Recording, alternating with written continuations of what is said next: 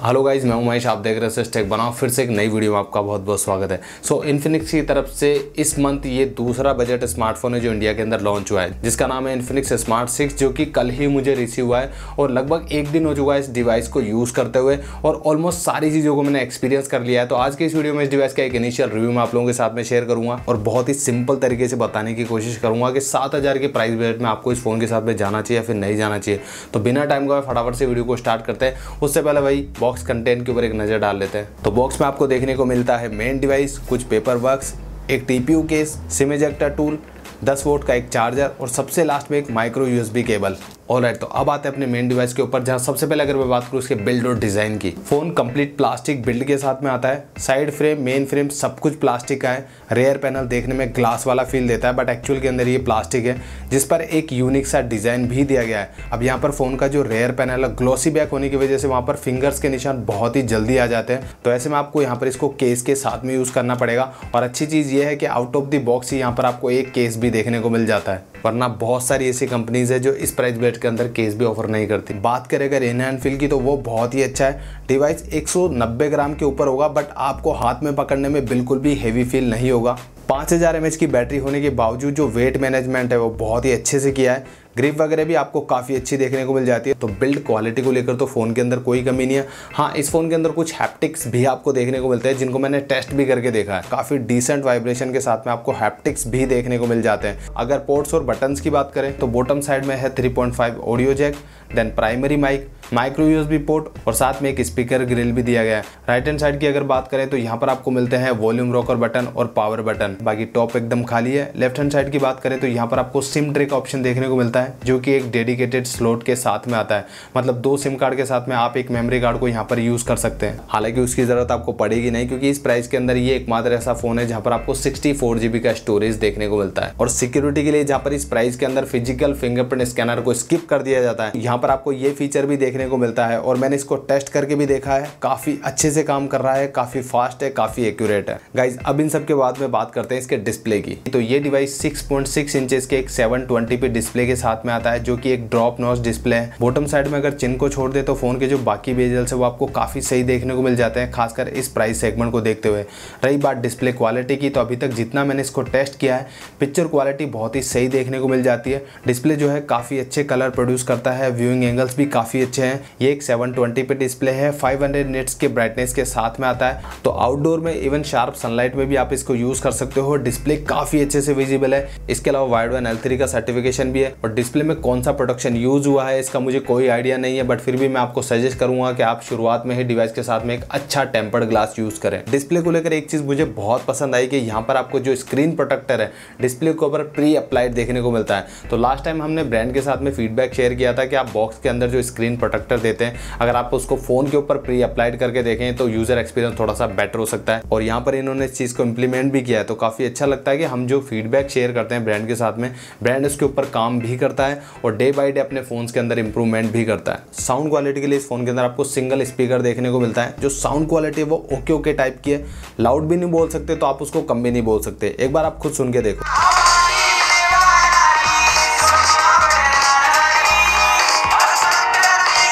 तो कुछ ऐसी साउंड क्वालिटी आपको देखने को मिलती है। अब इसके बाद बात करते हैं इसके सॉफ्टवेयर की। तो ये डिवाइस एंड्रॉइड 11 के गो एडिशन के ऊपर आता है, जो एक्स एक्स सेवन के लाइटर वर्जन बेस है और इसी लाइटर वर्जन होने की वजह से स्टोरेज में आपको out of the box sixty में से फिफ्टी फ्री स्पेस भी देखने को मिलता है।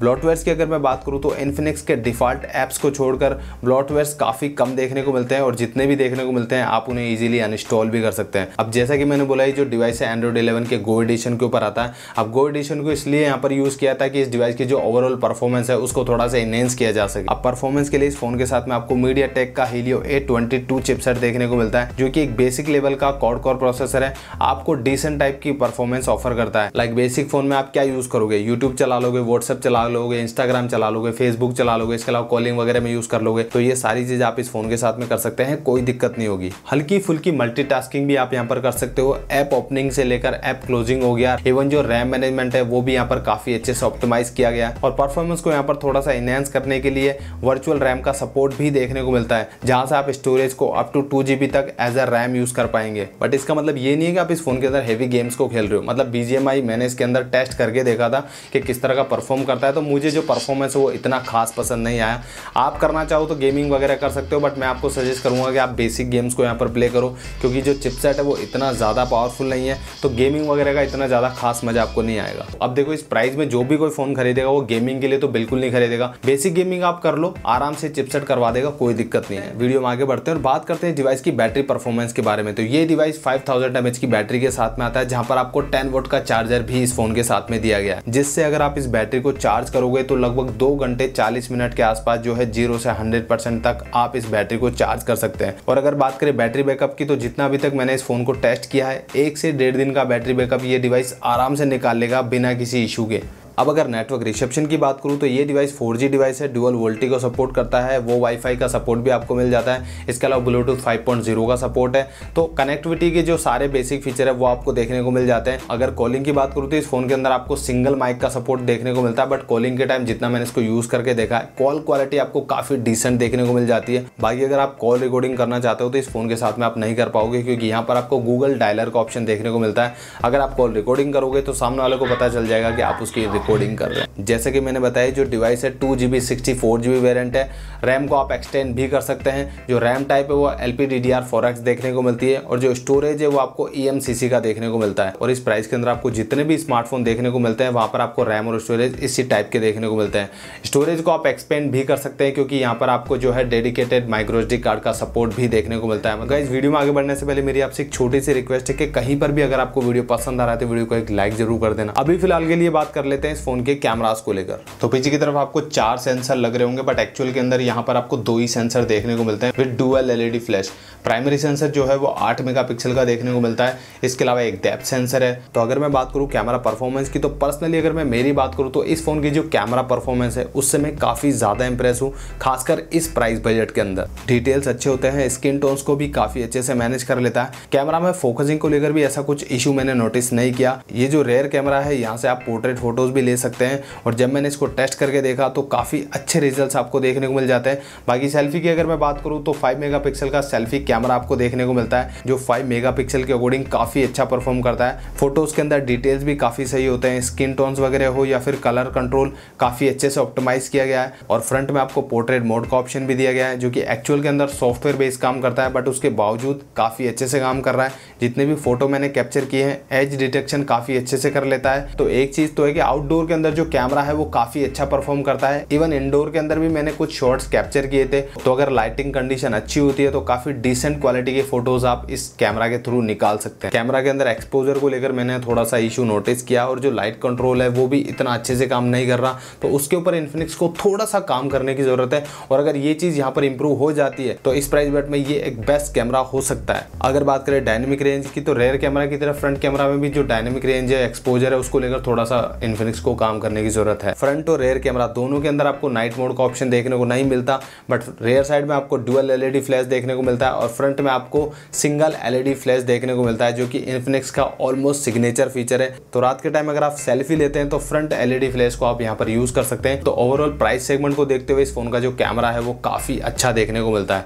अब इन सब के बाद में गाइस फाइनल वर्डिक की बात कर लेते हैं कि सात हज़ार के प्राइस सेगमेंट में फ़ोन कैसा है, आपको लेना चाहिए फिर नहीं लेना चाहिए। तो गाइस देखो पर्सनली जितना मैंने इस डिवाइस को अभी तक टेस्ट किया है। मुझे डिवाइस काफ़ी ज़्यादा पसंद आया। स्पेशली इस प्राइस सेगमेंट में आपको काफ़ी अच्छे फीचर ये स्मार्टफ़ोन ऑफ़र करता है। लाइक अगर मैं डिज़ाइन की बात करूँ तो एक आपको काफ़ी अच्छा और यूनिक डिज़ाइन यहाँ पर देखने को मिलता है। एक बड़ी डिस्प्ले का फ़ोन देखने को मिलता है। तो अगर आप मल्टीमीडिया कंजप्शन के लिए एक स्मार्टफ़ोन लेना चाहते हैं ऑनलाइन स्टडी के लिए लेना चाहते हैं तो भी ये स्मार्टफ़ोन एक काफ़ी अच्छा ऑप्शन है।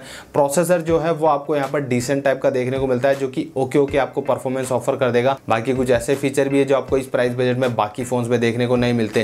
लाइक यहाँ पर आपको सिक्सटी फोर स्टोरेज देखने को मिलता है। इसके अलावा फिंगरप्रिंट स्कैनर का जो ऑप्शन है, वो भी आपको देखने को मिल रहा है। और अगर मैं कैमराज की बात करूँ तो प्राइस सेगमेंट को देखते हुए यहाँ पर आपको काफ़ी अच्छे कैमराज इस फ़ोन के साथ में देखने को मिलते हैं। तो ओवरऑल ये जो स्मार्टफ़ोन एक कंप्लीट पैकेज है। आप डेफिनेटली इस स्मार्टफ़ोन के साथ में जा सकते हो। ये फ़ोन आज ऑफिशियल इंडिया में लॉन्च हो चुका है। जो प्राइस पॉइंट है, वो है सात हज़ार चार सौ निन्यानवे रुपए, जहाँ से आप इसका दो जीबी चौसठ जीबी वेरियंट परचेज कर सकते हैं। लिंक वीडियो के डिस्क्रिप्शन में मिल जाएगा, जाकर चेकआउट कर लेना। अभी लगे हाथ गिव अवे की भी बात कर लेते हैं। तो गाइज़ इस वीडियो के अंदर भी मैं एक छोटा सा गिव अवे करने का प्लान कर रहा हूँ। तो अगर आप इस वीडियो के अंदर 500 लाइक का टारगेट पूरा कर देते हैं तो ये जो ट्रुक के ईयरबड्स है, इनका मैं यहाँ पर गिव अवे कर दूँगा। आप में से कोई एक ही नहीं जीत सकता है। लास्ट टाइम मैंने नोइस बर्ड्स प्राइमा का जो गिव अवे वो किया था इन्फिनिक्स हॉट इलेवन दो के ऊपर। आप लोगों ने टारगेट पूरा कर दिया है, पाँच लाइक का टारगेट पूरा हो चुका है। बहुत ही जल्दी गिव अवे का अनाउंसमेंट में करने वाला हूँ। मे भी नेक्स्ट वीक आपको देखने को मिल जाएगा। तो अभी तक अगर आपने पार्टिसिपेट नहीं किया है तो यार जल्दी से जाकर पार्टिसिपेट कर लो। क्या पता जो बर्ड्स है वो आप जीत जाओ। बाकी इस गिव अवे की जो भी डिटेल्स है वो आपको वीडियो के डिस्क्रिप्शन में मिल जाएगी, जाकर चेकआउट कर लेना। आई होप जितने भी पॉइंट मैंने यहाँ पर डिस्कस किए हैं इस स्मार्टफ़ोन को लेकर, आप लोगों के लिए काफ़ी यूजफुल होंगे। अगर आप इस फ़ोन को लेने में इंटरेस्टेड है या फिर इस प्राइस बेट के अंदर कोई स्मार्टफ़ोन लेने में इंटरेस्टेड है। वीडियो अगर पसंद आया तो वीडियो को लाइक कर देना। और अभी तक अगर आपने चैनल को सब्सक्राइब नहीं किया है तो यार जल्दी से चैनल को सब्सक्राइब करके बेल आइकन को भी प्रेस कर देना। मेरे इस वीडियो को देखने के लिए आपका बहुत बहुत धन्यवाद I see guys in the next video